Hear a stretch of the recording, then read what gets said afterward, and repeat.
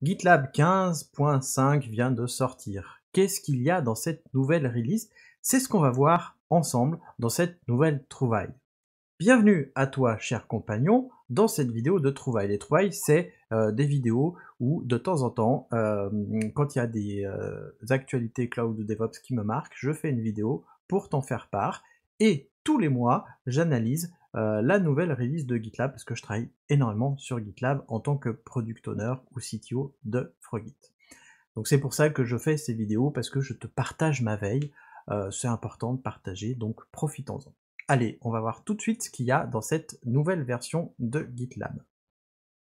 Alors la version 15.5, euh, elle vient de sortir, enfin elle est sortie il y a une semaine, mais alors elle est à 86% complétée, ça veut dire que a priori il y a encore beaucoup de travail qui n'a pas été inclus dans cette release. Il y a quand même 44 nouvelles fonctionnalités, dont euh, une grande partie dont je vais parler, dont 31 dans la version Core. J'ai pas tout sélectionné, hein, comme d'habitude, euh, je ne parle que de celles qui, qui m'interpellent le plus. Je les classe par ordre du cycle de vie du produit, donc on va commencer par les premières qui concernent la connexion. Là, on a une nouvelle, euh, fonctionnalité dès qu'on a, euh, dès qu'on a en fait une tentative de connexion avec une double authentification qui est, euh, en erreur, et ben on va recevoir un mail. Comme ça, ça va pouvoir nous prévenir si quelqu'un essaye de s'authentifier à notre place.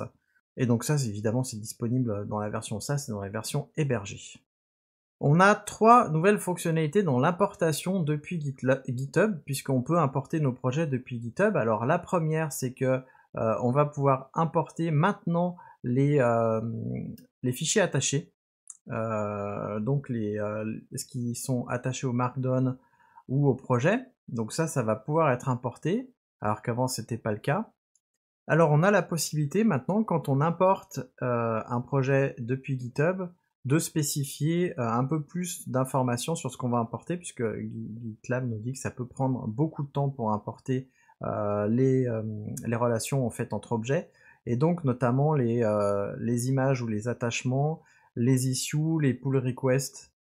on va pouvoir spécifier au moment de l'import. En fait, on voit au moment de l'import, on a ce, on a ce panneau-là. Je vais zoomer un petit peu si je peux. Hop, j'ai perdu. Voilà.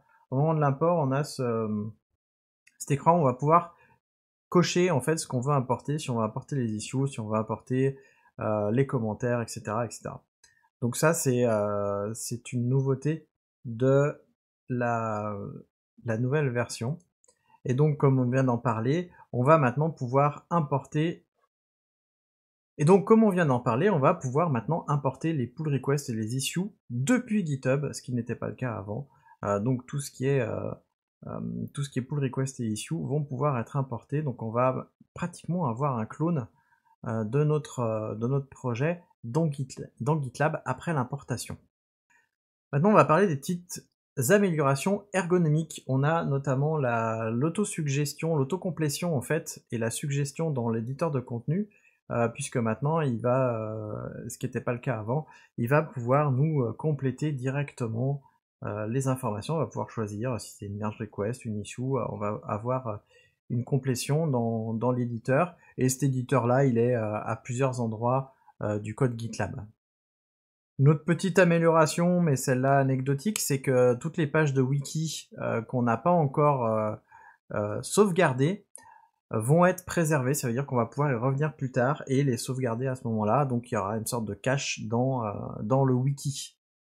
On peut maintenant ajouter euh, des, labels ou des étiquettes et des dates aux tâches. Donc comme on le voit ici, euh, maintenant on peut ajouter des dates de début et de fin euh, et des étiquettes aux tâches. On peut aussi affecter des, des, personnes assignées.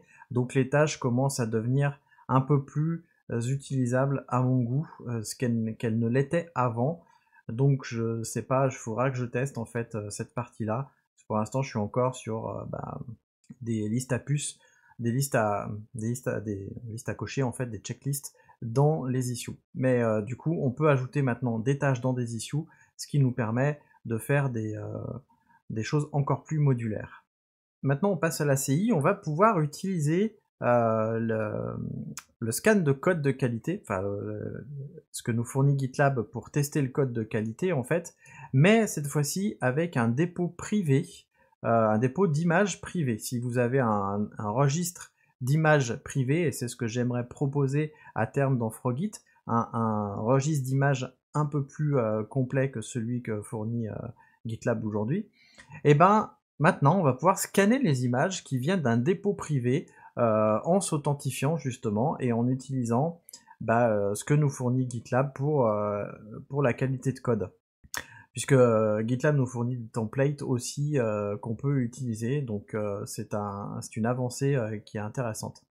On va maintenant parler de la partie déploiement d'une application et notamment encore de l'agent Kubernetes. Je vous en ai déjà parlé. donc l'agent Kubernetes nous permet de déployer des applications dans des environnements. Et ben aujourd'hui, on va pouvoir euh, restreindre euh, l'agent Kubernetes à certains environnements de déploiement en utilisant euh, des airbags. Et donc, l'agent, il va pouvoir être restreint à quelques environnements si on veut.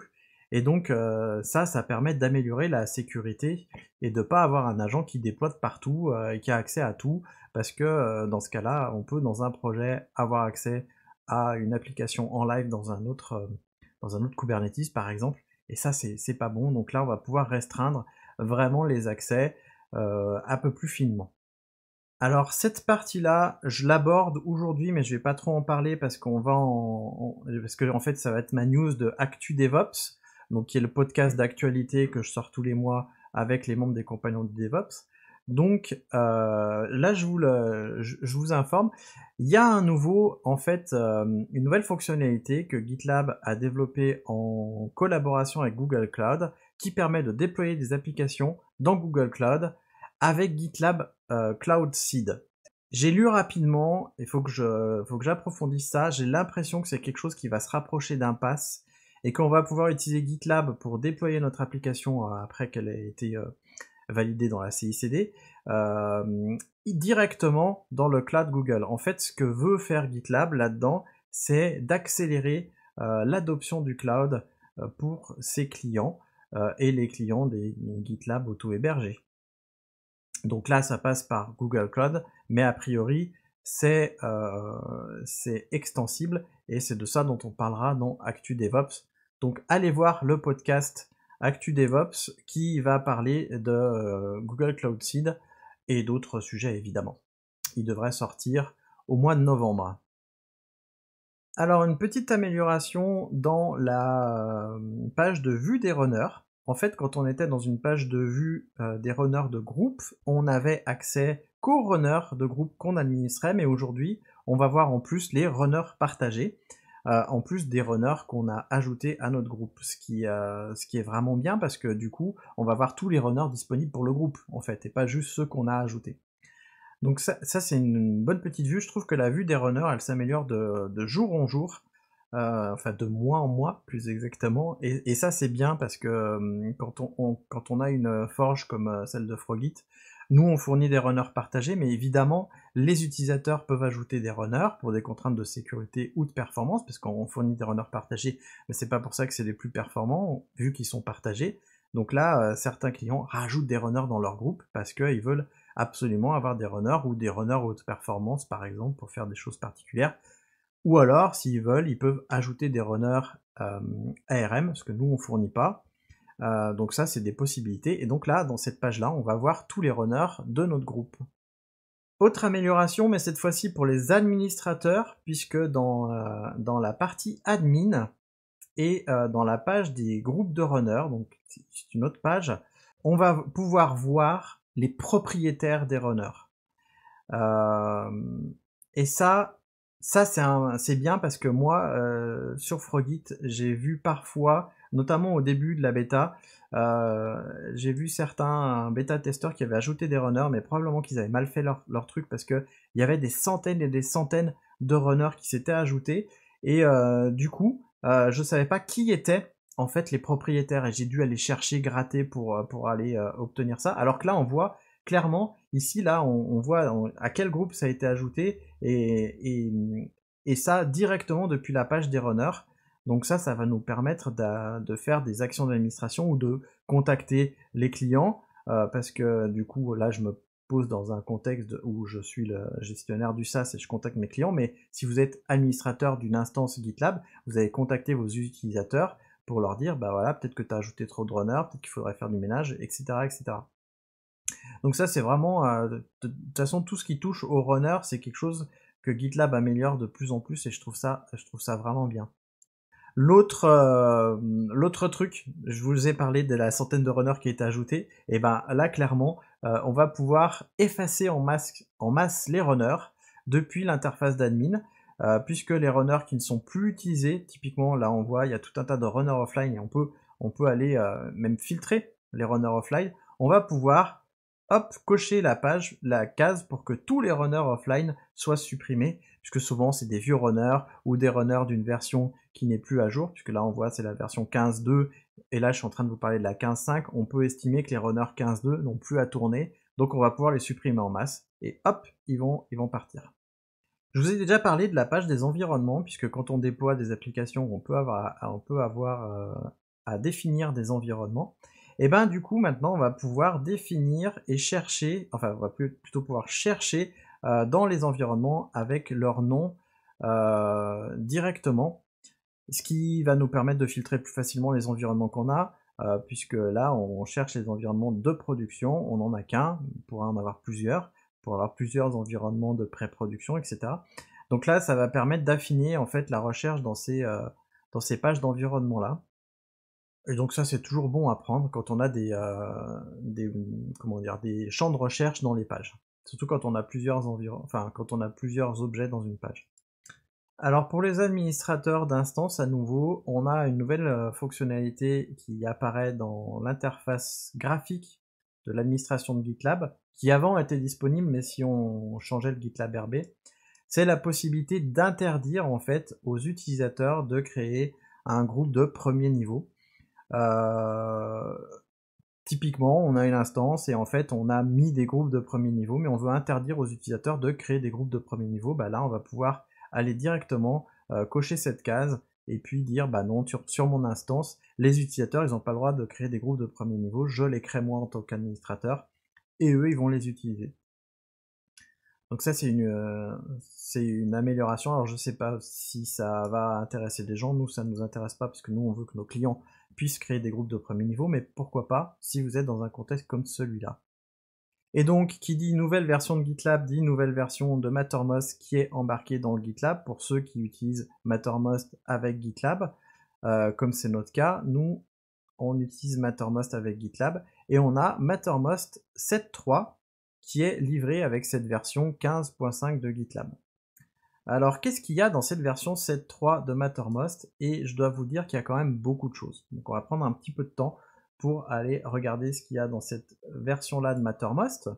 Pour faire bref, il y a euh, les calls, qui est une possibilité pour faire des appels audio euh, qui peut être installé dans Kubernetes, une notion de rôle pour les boards, un redesign des playbooks et un redesign de euh, la présentation des,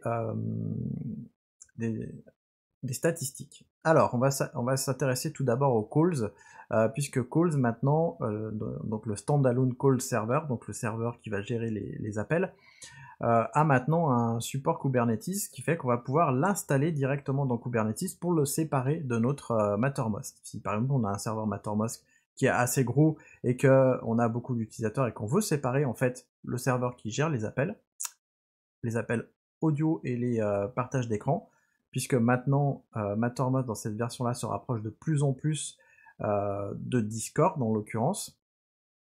Je pense que bientôt ils vont ajouter la vidéo.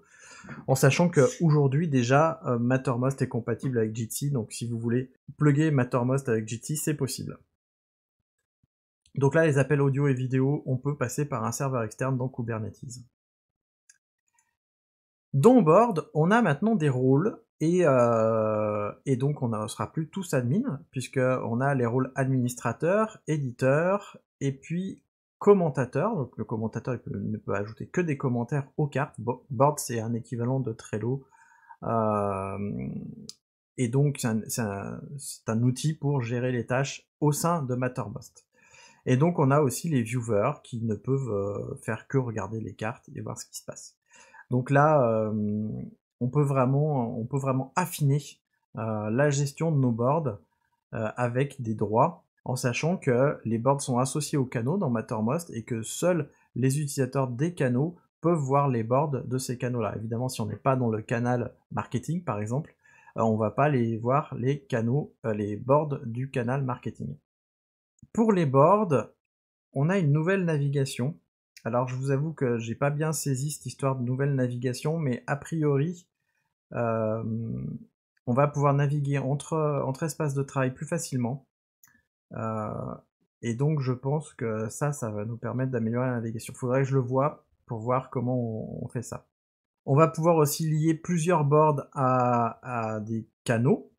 Euh, donc là, on le voit, typiquement, là, on est dans le channel et on va pouvoir lier des boards et la navigation, elle est plus efficace puisqu'avant, il fallait aller cliquer ici sur channels pour, euh, je sais pas si vous voyez bien, mais il fallait aller cliquer sur channels pour passer sur la vue board. Là, a priori, on a un create board, on a accès au board ici avec la petite, cette petite barre là. Je pense que c'est ça qui, nous a ajouté dans la, dans la précédente news dont je viens vous, vous parler. Et donc on voit directement les boards associés au, euh, au canal. Donc ça c'est super. J'ai hâte d'essayer ça. On a aussi des templates euh, de boards qui peuvent être partagés à l'équipe entière et non plus seulement dans les canaux, puisqu'avant quand on crée des templates, ils étaient associés aux canaux, maintenant on va pouvoir les partager à toute l'organisation. Euh, donc ça c'est plutôt pas mal. Alors les playbooks, les playbooks on n'en parle pas assez, mais c'est des, des tâches automatisées, c'est des checklists automatisées. Enfin, faudra vraiment qu'on fasse euh, euh, un sujet euh, là-dessus. Je suis en contact avec la communauté Mattermost FR pour qu'on fasse une émission sur les playbooks, parce que nous on commence à les utiliser. grosso modo, c'est des procédures. si vous faites tout le temps la même chose, eh ben vous avez une liste de cases à cocher typiquement regroupées, et donc c'est pas mal. Euh, typiquement, nous, on a, euh, on a un onboarding et on utilise les playbooks pour faire l'onboarding de nos nouveaux employés. Et ben maintenant, la navigation des playbooks, elle, est, euh, elle va utiliser le même formalisme que, bah, que Mattermost. Parce que les playbooks, la navigation était complètement différente, c'est vrai que c'était un peu perturbant. Et ben là, clairement, on voit le même formalisme avec la notion de groupe, la notion de canal, donc là c'est des playbooks très certainement, ou des runs, etc. Donc là, euh, on se perd pas et je pense que c'est plus simple à développer pour Mattermost, enfin j'estime. Il y a même une notion de playbook favori, donc ça c'est c'est bien, on va pouvoir euh, naviguer comme ça dans les playbooks. Donc le request statue update, j'ai pas trop compris ce que c'était. Euh, de toute façon, c'est pour c'est pour la licence professionnelle.